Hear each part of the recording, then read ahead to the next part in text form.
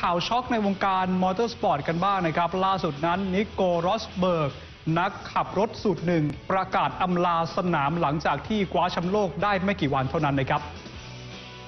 โดยที่นิโก รอสเบิร์กนะครับ นักขับรถสูตรหนึ่งชาวเยอรมนีของทีม Mercedes ประกาศอำลาสนาม F1 เป็นที่เรียบร้อยนะครับ โดยที่นักขับวัย 31 ปีทำผลงานได้อย่างยอดเยี่ยมด้วยการคว้าแชมป์โลกเป็นครั้งแรกในอาชีพหลังเก็บไป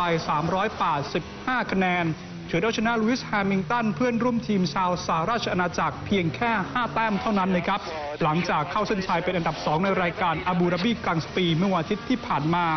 เจ้าตัวล่าสุดเองสร้างข่าวช็อกนะครับ โพสต์ข้อความผ่าน Facebook ส่วนตัวว่าจะขออำลาวงการ พร้อมมีข้อความนะครับว่าหลังจากที่ตนสามารถคว้าแชมป์โลกมาครองได้สำเร็จ ความกดดันต่างๆ ก็ถาโถมเข้ามาหานะครับ และส่งผลให้คิดที่จะอำลาวงการ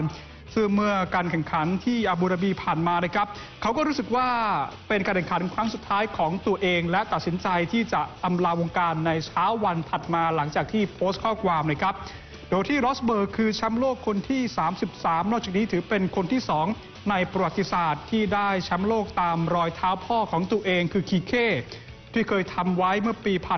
1982 นะครับแถมยังเป็นพ่อลูกคู่ที่ 2 ของวงการที่คว้าแชมป์โลกต่อจากคู่ของเกรแฮมและเดมอนฮิลที่ทำไว้ปี 1962 ปี 1968 และปี 1996 นะครับ